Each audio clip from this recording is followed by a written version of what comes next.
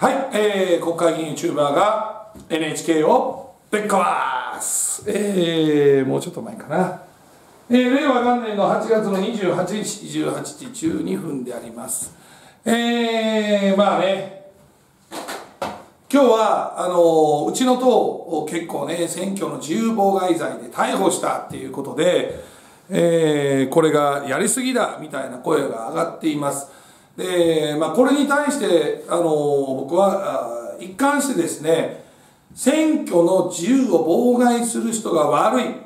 だから場合によっては逮捕することも致し方がないという姿勢でずっと来ております。ちょっと前か。でねあのまず逮捕するしないについてに関してはあの皆さんは目の前で例えば女の子が女性がねスカートの上からお尻を触られてたり胸を揉まれててその人間が逃げた時にどうしますか？まあもちろんねそのその体格とか正義感とか年齢とかそういったことにもよるでしょうけど僕だったらその場で逮捕しますよ。目の前で自分が見たら。もちろん胸を触られてたりお尻を触られてたりしてねその男女間の間で明らかに友達とかあの恋人でなければねその触られてるいわゆる痴漢の被害者の女性の顔色を見て、えー、触ってる男性を僕は逮捕しますよ。何してんだお前って。でこれ例えばスカートの上からとかズボンの上からお尻を触る行為っていうのは迷惑防止条例違反って言って大して大きな罪じゃないんですよ。あの、もちろん罪は罪ですよ。あの、下着の中に手を入れると、これは、強姦とかですね、えー、強制わいせつとか、まあそういう罪になるんですけども、えー、実は、お尻をね、えー、衣服の上から触る、まあ、下着の上から触るぐらいでは、えー、そこまで実は重い罪じゃないんですよ。で、一方で、選挙運動に対して妨害を加えるというのは、これはね、4年以下の懲役まである相当重い罪なんですね。で、あの、この間、柏の選挙の時に、嘘つきって僕が演説してる時に大声を出した人を、その時に僕追いかけていきました。で、これ嘘つきっていうのとバカっていうのは全然意味が違うので、えー、ちょっと、例文か、こっちか。これちょっと抜き出すか。あのーあの時に僕はバカとかアホとかまあ気違いとかそういう類のことであれば追いかけて質問するまでは至ってなかったです。彼に追いかけたとしてもあなたの主観である以上はそれは仕方がないですねということでそのまま放置したと思います。でも嘘つきというのは何らかの虚偽を嘘をついたということですから僕がどういう嘘をついたのかっていうのはその人に確認をしないと解決しないわけですよ。だから追いかけたんですね。で追いかけたところ嘘つきと叫んだ人は、えー、僕に対してあのー、いや何か嘘をついたわけじゃないんだと。なんか気に入らないから嘘つきっていう言葉を発したんだと。いうようなこと言ってたんでじゃあ謝ってくださいって言ったらなんでだよみたいな感じでえー、謝罪することもなくね、えー、その場から逃げ続けたんです。で、これが僕が逮捕した条文なんです。本拠条文ですけども、刑事訴訟法の212条、第1項ですね、現に罪を行い、または罪を、あ、現に罪を行い終わったものを現行犯人とするって書いてますね。だから、嘘つきという選挙中に妨害のヤジを飛ばしたことについては、すでに公職選挙法の選挙の自由妨害罪というのに当たると。だからこれは現行犯人とすることはできるんですね。で、左の覚悟にあるものが、ね、覚悟の位置にあるものが、え罪を行い終わってから間がないと明らかに認められたときは、これを現行犯人とみなすとなっていて、この犯人として連呼されている時いわゆる泥棒泥棒とか言われている時ですね、えー、次、えー、造物また明らかに犯罪のように教したと思われるこれなんか、まあ、凶器とかピストルのことですね。その他のものを所持しているとき、3、身体また服装に犯罪の顕著な証拠があるとき、いわゆる血まみれとかね、えー、爆発した、なんか、まあまあ、顕著。で、ここ、追加されて逃走しようとするときです。ここに該当するって言ったんですよ。何も、嘘つきと言われて直ちに逮捕したのではなく、どのような嘘をついたんですか？私、あるいは NHK から国民を守ると、あるいは大橋候補者に対して、どのような嘘をついたことを指摘されてるんですか？それが何らかの指摘ではなければ、選挙妨害ですよ、ということを、その人に伝えに行っただけなんですね。で、途中であまりにも逃げるから、これは110番をしますと。あなたも、お何ら、えー、いわゆる警察に言われて、やましいことがないのであれば、警察官が来るんだから、この場に立ち止まってくださいとお願いをした。にもかかわらず、まあ、数百メートル逃走を企てて、最後、挙句の果てにタクシーに手を挙げて乗車をして、逃走をしよう、いわゆる追加されて逃走しようとするとき、お前は何者なんだということですね。俺、逮捕せざるを得なかったんで僕は逮捕したんですよ。であのまま逮捕しないとずっと混乱し続けるから逮捕したんですね。で、今言ったように、選挙の自由妨害っていうのは、痴漢よりも重い罪なんです。で、どうしてこういうことが放置されてきたのかっていうと、イメージが悪くなるから、逮捕しないとか罪に問わないっていうことを、これまでの政治家はやってきたんだろうなと思います。で、そんな中、えー、こういう事件が起こっています。えー、これは、あれですね、えー、千葉、あ、ごめんなさい、埼玉の知事選挙の際に、えー、朝日新聞の記事ですけどもね、演説中にえー、抗議を受けた文部科学大臣、大声出す権利保障されないってタイトル出てまして、えー、埼玉県知事で応援演説をしていた柴山正彦文部科学大臣に対し、大学入試改革への反対などを訴えた若い男性を警察官たちが取り囲んで遠ざけたことがツイッターなどで話題となり、柴山大臣自身も極めて、えーわめき散らす声は鮮明だったなどと発信している。27日の会見で今日ですね柴山氏は演説会場で大声を出すことは権利として保障されているとは言えないのではないかとの見識を示したということなんですがもうこんなのは柴山大臣のおっしゃる通りで当たり前のことです。あのね選挙で今ちょっと僕これ今あの選挙運動用のたすきあのたすきじゃないあのこれね、えー、運動用の腕章をしています。これ今、えー、鹿沼市の選挙運動用の腕章なんですけどこの腕章が何のためにあるのかを知ってる人があまりにも少なすぎてですねこれは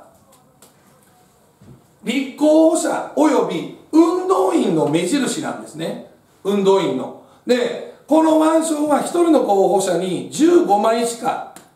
頒布っていうか交付されません。つまり選挙運動をしてもいいっていうのは候補者プラス同時に15人までとなってるんですね。でその運動員は最強なんですよ。めちゃくちゃ守られます。でどういう時に守られるかっていうとそれは選挙運動の時に守られるんです。政治活動は我々政治家は遠慮しなきゃいけないです。遠慮してやらなきゃいけない。でねこの違いが分かってない。国民が分かってないのはよく分かりますよ。政治家がこの違い分かってない人がめちゃくちゃ多いんですね。で選挙運動というのは特別機関ですね、政治活動というのは通常期間なんですね。ね、この通常期間である時は政治活動の自由が保障されていて、あの、言論の自由とか、まあ、特に政治に関する言論の自由が保障されている期間ですでこの選挙運動中というのは特別な期間であってあの例えばねこれ今、あわやくんっていう人が鹿沼市で選挙出てます。おとといスタートして、えー、8月の25日公示されて、8月の31日まで、えー、選挙運動ができるんですが、例えば鹿沼市内でこの腕章しなせずに、えー、鹿沼市内の中で大声で NHK から国民を守る党のあわや、えー、太郎に一票入れてくださいって言ったらもうそれで公職選挙違反です。ダメなんです。これこれしないとね。で、今僕は YouTube でやってるから、YouTube はこれをしなくても選挙運動ができるんです。なぜかというと、15人の運動員ができるのはリアルな世界で、ネットはもう完全無制限でやっていいんですよ。この選挙運動期間中にはネットで100人であろうが200人であろうが選挙運動してもいいんです。それはあのお金がかからないから。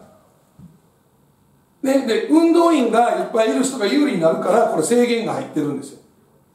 まあまあ、えー、ちょっと若干話が、あのー、前後してしまうかもしれませんが、要はね、この選挙運動の期間に、候補者の悪口を言ったり、応援弁士の演説を妨害することは、もうね、思いっきり逮捕に値するんですよ。犯罪なんです、犯罪。で、これまでの政治家は、逮捕とかしちゃうと、イメージが下がるでしょ？だって、こことここの違いが分かってないから。これ、日頃ね、選挙期間でもないのに、選挙運動でもないのに、政治活動でね、車とかで大きな声出してる生徒が多すぎるんですよ。これね、ここは遠慮しなきゃいけないんですよ。うるさいから。できるだけその市民の平和あの国民のね生活に影響を与えないように大きな音でねマイクを使ってやること自体も本来控えなきゃいけないんですよ。で国民にあの申し訳ない。今は選挙ですと。だから市議会議員選挙なんて1週間しかないですよ。7日しかない。ねあの知事選挙だって17日間しかないんですよ。その間は特別だから許してください大きな音で選挙カーで喋ることも許してください。で、かつ、その、選挙運動中は、政治活動も制限されます。例えば、右翼の外選者で何か政治的なことを言うことも、えー、埼玉県の県知事選挙の間では、埼玉県中がダメなんですよ。だから、埼玉の知事選挙をやってる間は、埼玉県で NHK から国民を守る党のチラシを配ることも禁止なんですね。許可を得る得れば実は若干配れる方法あるんですが許可を受けずにこの選挙運動期間中に他の運動というか政治活動してはいけないんですよ。でこれをあまりにも知らなさすぎるからその芝山やめろとか民間試験撤あ撤廃とかっていう声がなんか表現の自由だとか言ってる人がいるようなんですがもう全く違うんですそこは。で、えーまあ、柴山市によると抗議を受けたのは投開票前日の24日いわゆる選挙運動期間ですよね。埼玉市の JR 大宮駅前で応援演説をした際登壇していた車の後方から柴山やめろと大きな声が聞こえたという。ネット上では抗議をしていた男性が警察官たちに囲まれる映像が投稿され文部科学大臣に抗議の大学生を街頭演説から排除。などと批判が出ています。排除ですね。これちょっと漢字。ひらがなであのカタカナで書きましたけどこれに対し柴山氏は26日自身のツイッターで外戦者の反対でしたので見えて反対でしたので見えてます。後ろがね。少なくともわめき散らす声は鮮明にその場にいた。誰の耳にも届きました。などと投稿した。27日の会見には質問に対し表現の自由は最大限保障されなければいけないが選挙活動の円滑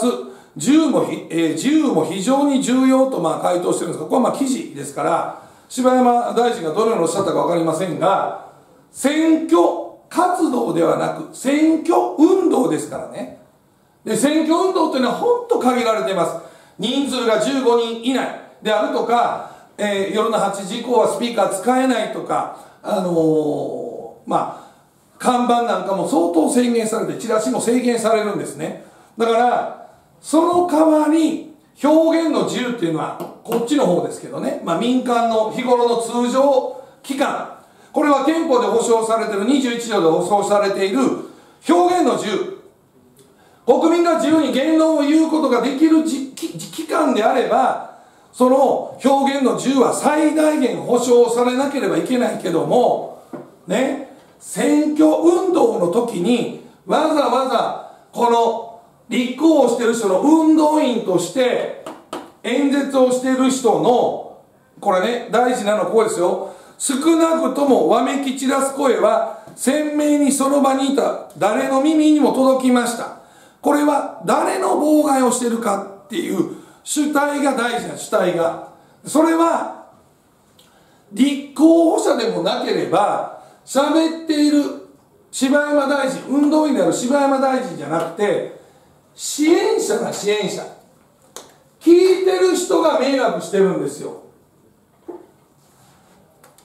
演説を聞いてる人っていうのはこの選挙運動期間中にどういう候補者がどういう考えを持ってるのかそれを応援している人がどんなことを言ってるのかを聞いてるんですよ。有権者として明日一票投じるこの国の主権者として。誰にこの場合だったら埼玉県知事になっていただくのが一番ね埼玉県の自分たちのためになるのかを真剣に聞いてる人たちが聞こえなくなるような声を出したらダメでしょって言ってるんですよこれ。柴山さんは。柴山大臣は。だから主体は議員とかじゃないんですよ。真面目にというかね演説を聞こうとしている人たちが聞けなくなる。もちろん演説をしている人が演説の続行がやりづらくなるような妨害行為は排除どころか逮捕されるべきなんだ本来は。でもまあ多くの人がこの選挙運動と政治活動の違いとかこの時は表現の自由が優先されるけどこの特別期間は表現の自由が制限されることをご存知ないからとりあえずこれ以上ね大きな暴動にならないように排除したと思われます。で排除と逮捕はもちろんこっち側は事件を未然に防ぐ方法です。でこっち側もう事件を起こした人間を犯罪者として処罰する行為ですので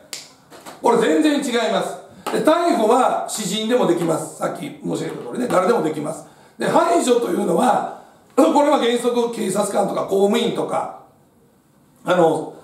多分警察職務執行法にあると思いますね。あらかじめその危険な状態になりそうな暴動とかね犯罪を未然に防ぐっていう、えー、警察官の権限があるはずです。これちょっとはずでごめんなさい。あるはずです。だから有形力の行使ですよね。つまりその場にいる人をどっか違う場所に持っていくっていうことですね。これ排除って言われる、これはもうめちゃくちゃ妥当です。でそれに対してあの蓮舫議員がツイッターで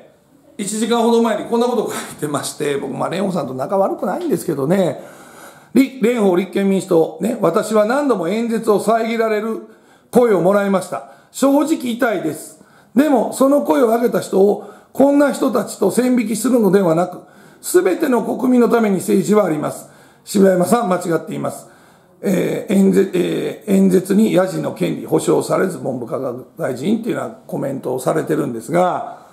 あの、蓮舫さんさすがにこれはね、柴山さんが間違っているっていうことを言い切ってしまうのはいかがでしょうか。現場に多分いたわけでもないでしょうから。あのやっぱり蓮舫さんは自分中心になっておられませんか？自分が中心で自分が我慢をすればいいっていう判断でしょ？正直痛いです。これ誰が痛いんですか？蓮舫さん。演説を遮られる遮られる声をもらった時に痛いのは蓮舫さんだけじゃなくて蓮舫さんを支持している運動員や支援者の方が痛いんですよ。多分。そうじゃないんですか。だから演説をする人を守るんじゃなくて演説を聞いている有権者や聴衆を守るために公職選挙法に選挙の自由妨害罪っていうのが規定されていると私はあ理解をしています。解釈をしています。ということはこのような政治に対して真面目に選挙運動をしている人に対してねそれを妨害するような行為は政治活動中であればいくらでもやってください。それはその人たちに権利があるかってないですよ。ね、選挙が始まる前にここに本人とか歌付きしてよくやってるでしょ。あの時っていうのはこっちなんですよ。で本人の名前を書き出したらこっちなんですね。あ共産党はこっちの時も名前書いてますけどあれ完全に違法ですからね。あの要はね僕が言いたいのは公職選挙法ぐらいみんな勉強しろよって政治家なんだから。選挙運動と政治活動の違いとかどうしてヤジを飛ばした人を排除警察がするのか。こんなの排除しなければヤジを飛ばしてる人がエスカレートしていずれ逮捕されることにまでなりかねないでしょ。演説の妨害をすることが犯罪なんですから。こっちの時はねこっちは違いますよ。妨害しても犯罪になりません。保証されてるんですよ選挙運動っていうのは。だからあの旗も立ててるでしょ白い旗立てて。一箇所しかでしかできないんですよ。一本の旗のところでやらなきゃいけないとか。いろんなめちゃくちゃ制限があるんですよ選挙運動って。その制限の中でやらなきゃいけないのが選挙運動。お金の制限もあります。こっちは自由にできるんですよ。でヤジを飛ばしてる人たちって何してるかって言ったら結局自分たちの政治活動をしてるんですよ。あなたたちが言ってることは間違いだ。これが正しいんだっていう政治活動をしてるんです。それは特別期間中はダメなんです。ここが大事。でもうね文句があるんだったらまず選挙に出なさいっていうことです。反対の意見があってそれを叫びたいのなら選挙運動中に立候補しなさい。でもしそれができないお金的にできないっていうんだったらもうね黙っておくしかないんです。選挙運動の前に落選運動っていうのができますからやればいいんです。選挙運動の前この政治活動の時にやればいいんです。これね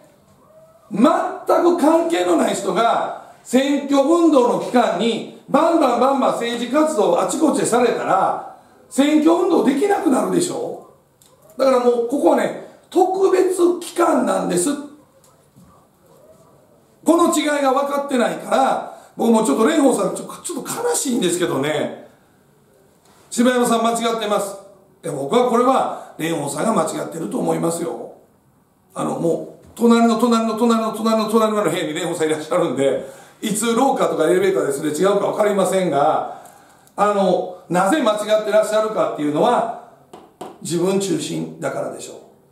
私が我慢すればいいと思ってるから蓮舫さんは正直痛いです。もう自分が当選することとか自分の政党を伸ばそうとか自分の応援してる候補者のことしか考えていないからこのコメントになるんですよ。で一方で柴山大臣は明らかに声が私の喋ってる音が聞こえなかったことによって私やその支援立候補者ですねあれあの人ですねちょっと名前忘れちゃったけど、まあ、あの自民党が応援してた元プロ野球のね、えー、人が、えー、の話を聞きたい人の声声が聞こえない人だからこれ妨害でしょ思いっきり。もうね野球の試合見に行って前の人がブワー立って後ろの人が見えないとかねあのサッカーの試合って後ろでブーパパーとか鳴らされてもうるさいとか一緒ですよ、まあ、映画を見に行ってね、まあ、音楽でもいいですよ。見に行って。全然わけのわからない音楽をねコンサートに行って大きな音で鳴らされてるのに等しいのであのそれは選挙運動の時はその演説というのはおとなしく聞かなければいけないんですよ。反論があるんだったら自分で別の選同じ選挙で別のことを訴えるのか選挙が終わってから政治活動すればいいわけです。これチラシ配るのダメですからね。政治的な思想を書いたチラシを配るのもダメなんです。でもこの選挙運動の期間ってめちゃくちゃ短いです。埼玉県の知事選挙であっても最大一番長いのが17日参議院。たった17日間しかないんですよ。それは一人で埼玉県全部を回らなきゃいけないことを考えたら17日必要でしょってこと17日間必要なのは知事と参議院衆議院の時は12日しかないんですよ。市議会議員は7日しかないんですよ。市長もね政令市は14日ありますけどそんなにね選挙運動の期間って長く取ってないこの特別期間は。でもここと間違ってる人が本当多いと思うんですよね。だから今回の僕は、えー、柴山大臣の取られた行動警察官の取った行動排除したっていうことですね。公職選挙法の自由妨害に当たるようなことをしている人たちをその場から排除した未然に犯罪を防いだんだと。適切な僕は警察の,、まあの業務だと思います。もちろん、えー、北海道で参議院選挙の時に安倍総理が演説中に北海道警が、えー、民衆を排除した、まあ、大きな声を出す人たちを排除して今それが、えー、公務公務員法の職権乱用に当たるということで刑事告発をしてる人もいるようですけどももうさすがにねあの文句があるんだったら自分で入れよっていうことです。自分のところで。他の人のところに行って妨害するのは僕は違うと思いますよ。それこそあの他人の権利を奪ってるんでしょ？選挙運動する人の権利を奪ってヤジを飛ばす。それはあの表現の自由の中に含まれません。憲法よりも法律が優越することっていっぱいあります。で最後にねあのそもそも国会でヤジを飛ばしてる人。あれ違法ですからね。我々国会議員は各委員会や本会議でヤジを飛ばすことは違法行為です。ちゃんと会議則に書いてるんですよ。発言をするときには委員長の許可を得なさいとか議長の許可を得て発言をしなければならない。発言した場合には挙手をしてね委員長例えばあの議事進行とかね意思表示をちゃんとしてその委員会の長であり議長の許可をもらって発言しなければその他の発言いわゆるヤジはあれは全部違法なんですよ。だからもう国会議員自体がヤジというねあのヤジは違法じゃないんだっていうんだったら法律変えれよっていうことですよ。